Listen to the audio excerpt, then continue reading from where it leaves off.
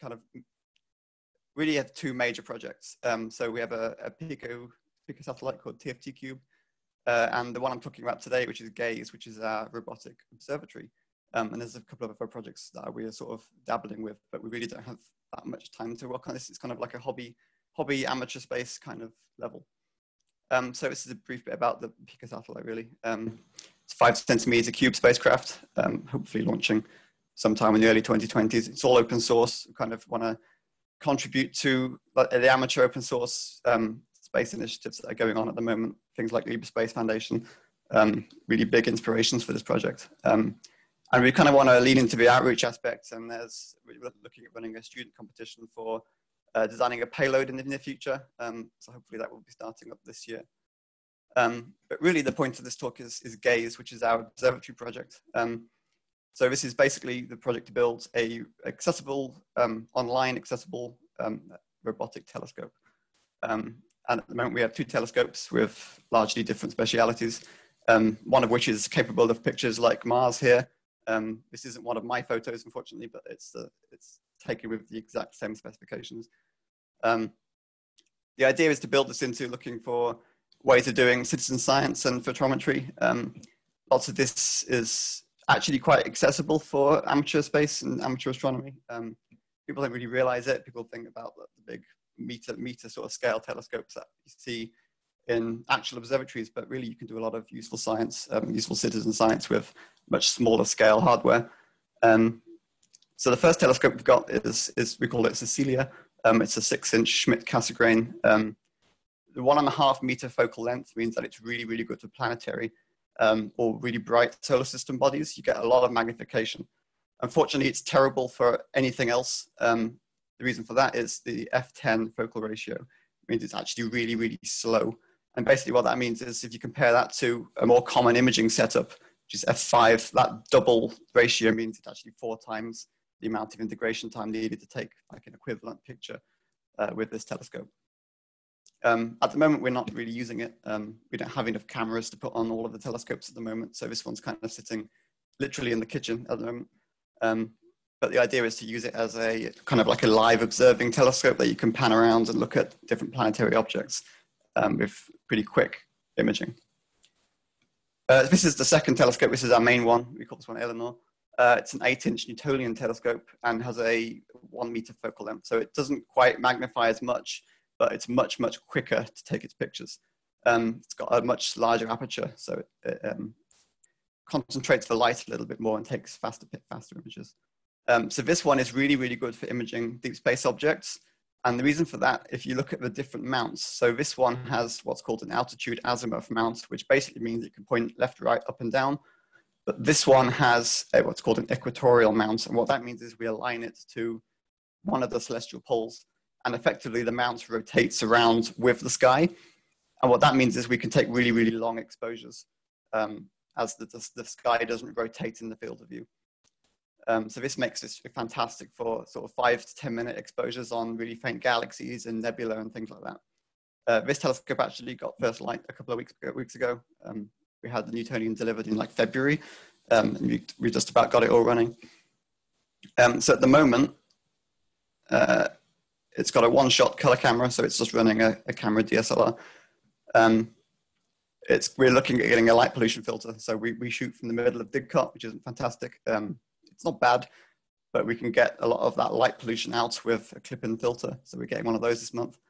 Um, auto guiding is really important. So that little telescope on top of the big telescope, that red puck kind of thing, is a smaller camera.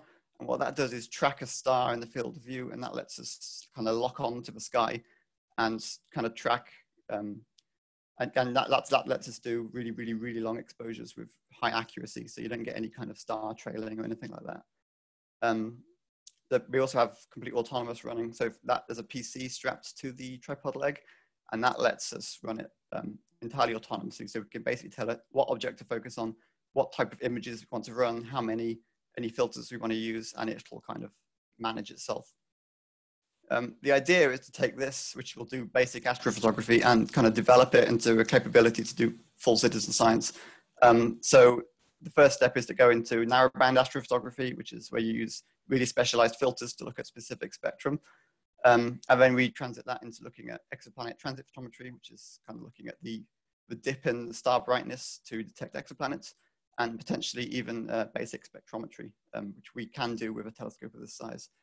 Um, the idea is to, to get to this point, we, we build in things like autofocusing, um, better ways of routing all the power and the data coming off the cameras. Uh, and the idea is to get to that point to do a, um, a mono camera with lots of different filters in, which makes it really useful for being able to do this narrow band photography. Um, so a bit about the spectrometry. Well, this is not something you really associate with being able to, to do at an amateur scale, but um, what we really what we found is we got a second-hand medical spectrometer, and we're going to try and splice it into the, the optical path, and hopefully we can be able to measure something if we can calibrate it properly. Um, so that's kind of the idea behind that. The spectrometry is a bit of a long shot, but the rest of it is actually quite well demonstrated. Um, so before I show you any of the actual pictures we've got, um, I'm going to talk a little bit how we get there. So we have what's called light frames, which is the actual frames that have our data in. So these are the main ones we take during during observation. Um, they have all of the the pretty picture in, but unfortunately they're contaminated with lots of different noise, lots of different distortions, and so we have to calibrate those out. Uh, so the first calibration frames we take are called bias frames uh, which are really, really, really short frames to capture just the read noise in the camera. And then we have dark frames, which are taken at the same length as the frame to the picture in. And they're there to um, remove all of the thermal noise from kind of the, the camera itself. Um, and finally, we have flat frames, which are taken against what we call a flat light source, but is really a white t-shirt pointed at the sky. Um, and that, that looks at removing things like um, dimming of the image towards the edges, which is called vignetting, and also things like dust on the optics. And so once we've got all of these, and we try to take about 100 of each of, each of the bias darks and flats, and maybe 40 to 100 of, of, of the lights, which works out about two and a half to 10 hours of data. Um, what we do is we stack all of the calibration frames. So we take like an average of all of the different calibration frames, and that kind of removes any, any slight variations in that data. So we, have, we end up with a, what's called a master bias, a master dark, and a master flat. And then what we do is we then take these master frames and we take our lights and we calibrate that. So what that results in is we, we subtract the bias and the dark signals from the light frames and we divide the flat frame by light frames. And that results in removing any of the distortion of the light and removing any of the noise from the camera. And what we do is we take those calibrated light frames and we stack those, which effectively kind of takes an average of those. And then we also do a thing called drizzling, which is an algorithm developed by Hubble, um, or for Hubble rather, which is where you sort of scale up the image two or three times and you interpolate the values in between the pixels and it results in a much smoother, kind of less pixelated image. Um, and then after that, ideally you have a picture. Unfortunately, there's a lot more post-processing to go after that to remove things like noise and sky glow and to, to tidy it up a bit. But that's kind of the main process to get from our raw data to a usable picture. So to kind of demonstrate that, I've processed a, a few of the pictures we've got in the last couple of weeks. Um, so this is one of the, the first pictures we've got. This is M101, um, the Pinwheel Galaxy. Um, this one, these ones haven't been, haven't been calibrated, so these are only the light frames. And what you can see is if you look in the middle, you can see my mouse, um, do this laser pointer. If you look in the middle here, there's kind of a lot of distortion and that's from the fact that we haven't calibrated these frames yet. Um, so there's lots of, uh, it's not light pollution, but there's lots of distortion in how, in how the image forms at the camera that we haven't calibrated out. And so this has been kind of post-processed out and it's a bit noisy still. Um, so that's M101. This has been slightly processed, but it's, only, it's less than two hours of data, so it's not that great yet. We probably need to double that at least to get really sharp images.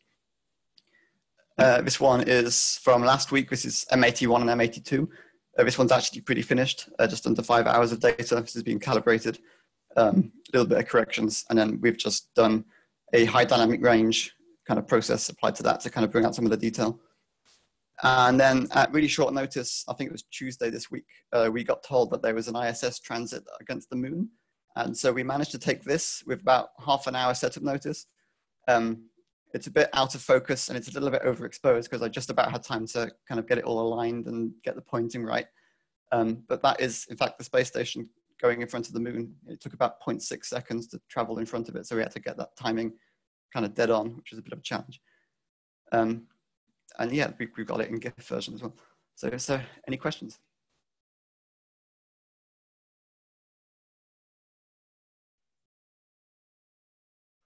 Um, there's one question, how does a filter get rid of the light pollution? Okay, so basically the data that we want to try to capture from lots of astronomical objects is largely in three bands, and that's the hydrogen alpha band, oxygen three band, and sulfur two. Um, and kind of those are the three that are the really interesting uh, things to look at. Uh, the light pollution from, I mean, it, depend, it depends where you are and what kind of, um, it's like street lights and stuff you have, but uh, that light is in a different spectrum band to the really interesting astronomical stuff. So the light pollution filters kind of pass that out basically. They, they kind of block the areas of the spectrum where lots of the city lights are in, but they pass through all of the interesting stuff that we want to see. And the result of that is it kind of reduces that, that impact of that really bright glare in the atmosphere. And then you can kind of get through all of that extra signal from your actual data. So the second question is, assuming the hardware needs to be covered or moved in the event of bad weather, and then will need to be set up properly again, how much of a challenge or time sink is it to set up the equatorial pointing before taking shots? So it's not too bad. Um, I've got it down to about 15 minutes to set up and take down now. Um, it can be difficult.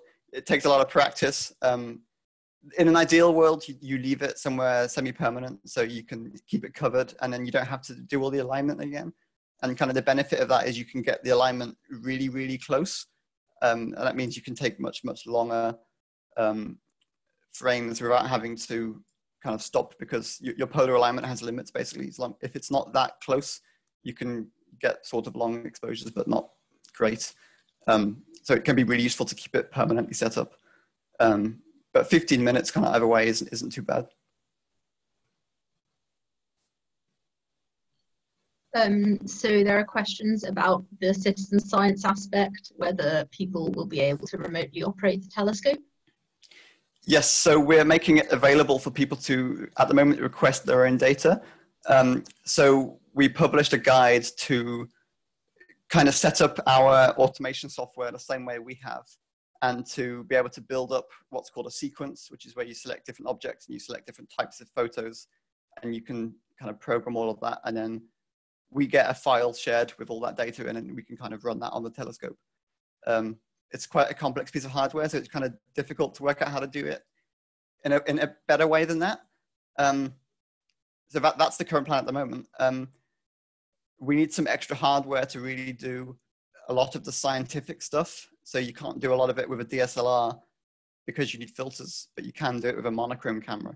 So as soon as we have a, like, admittedly really expensive monochrome camera, um, that we can start mounting up the filters and actually doing some proper science. Um, I think there's a lot of organizations doing things like follow-up studies on things like variable stars and exoplanet transit photometry. And that's kind of something that we really want to start looking at. So Emily asked, how would you recommend people getting involved in citizen science? And are you looking for technical support in your projects? Um, so there's lots of different organizations that do citizen science. Um, things like Zooniverse have loads of different projects on that you can get involved in. Um, different organizations run their stuff in different ways. Um, things like the Variable Star organizations have loads of their own conferences and things you can get involved in.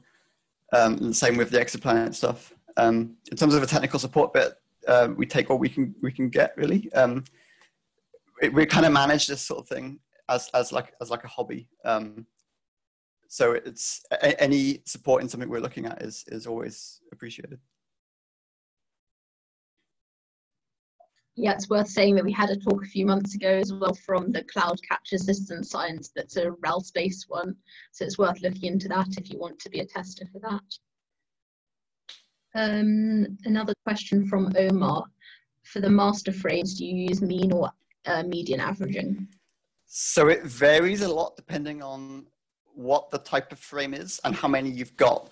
Um, it's a bit more complex than I think just just averaging. I think I've oversimplified that quite a bit.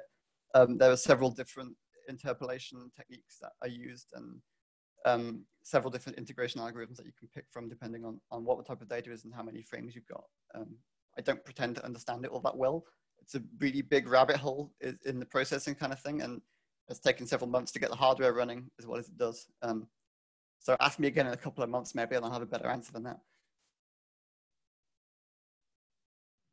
Um, Ashley says, have you looked into finding a better home for the telescopes than the middle of Didcot to remove the concern for light pollution? Uh, we have, and there, we, we decided basically that we would rather finish the full like observing hardware before we look to make it semi-permanent somewhere. Um, we're probably about halfway through that, so kind of the filters, the autofocus, and the, the monochrome camera are probably about the same cost as the photos I showed you of the rest of the hardware. Um, so the idea is once we've finished that, then we'll be looking to set it up possibly somewhere in Wales, maybe in North Wales. Um, but it's kind of a, a problem that we've yet to really solve. Um, the next question, Stanley asks, uh, Raman is an insensitive technique, so what's the reason for attempting to do Raman spectroscopy and what would the data tell you?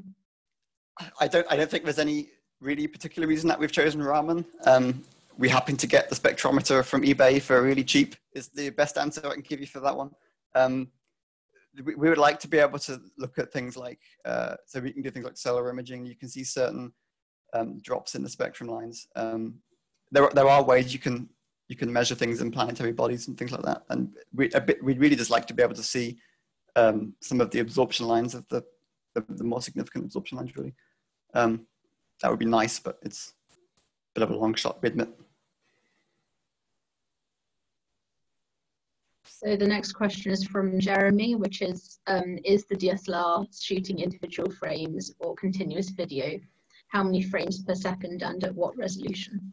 So for planetary bodies, you take video, and the reason for that is they're very bright. Often they're moving. Things like Jupiter turn quite quickly in photography terms. Um, so you take video, which is very, very short um, exposure rates, and you stack like a thousand frames to create your image. Um, for deep space objects, you shoot individual frames. For instance, we shoot for the, the um, for the Bode's Galaxy pictures, these were 375 second frames um, and we took about 40 of them. Uh, for the pinwheel, these were uh, five minute frames, and we took about 20 of them for that picture. Um, so yes, these are, these are quite faint. Bode um, pinwheel in particular is really, really faint. Um, it's actually quite hard to get any data off this, so we need to probably need to kind of triple this amount of data to get any good pictures out of it. Um, but yes, the, the reason you need really good guiding and, and, a really expensive kind of like precisely aligned mount is because you have to be able to take these really long um, duration shots and be able to guide like to within the accuracy of a pixel so you don't get any kind of streaking. Um, the next question is how rare was the event of the ISS transit? Um, the ISS transits aren't that rare um, they are rare for any one location. So we got really lucky in that the center of the transit line was about 50 meters from my front door. Um, and the band is kind of, I think, five kilometers wide, something like that. Um, so they're all over the place. And there's actually a website. If you look for ISS Transit Finder in Google, there's a website that will tell you where they are. Um, but I think we got super lucky to have one that didn't require me to, to drive anywhere and set up somewhere else. Um, the next question is from Tim, and it's um, Did you know how to do automated control of telescopes before you did this project? Uh, personally, no. We knew it was possible. Um, there are companies who do things like telescope farms where they have sets of astrophotography and you can kind of pay to set your own telescopes up and um, in the middle of a desert somewhere, for instance, and you kind of operate those autonomously. So we knew the techniques to do it were out there. Um, given we wanted to kind of be able to share this hardware with kind of the little community that we've kind of built around the flame trench, um, it required a bit of a different approach. Um, we've kind of got that down with having people set up their own version of the software and build their own sequences. Um, but it's, it's been a bit of a learning process to get to like a system that works. And the final question is from Timothy, and it's um, Are you using consumer camera bodies for astrophotography? And have you modded any to remove IR filters from the body? Is there any benefit to doing this? Uh, so at the moment on the Newtonian, we're using just a, a stock Canon 60D DSLR. Um, you can mod them to remove the IR filters. Uh, that does help. It passes more of the hydrogen alpha band, which can, um, you get more vibrant pictures basically.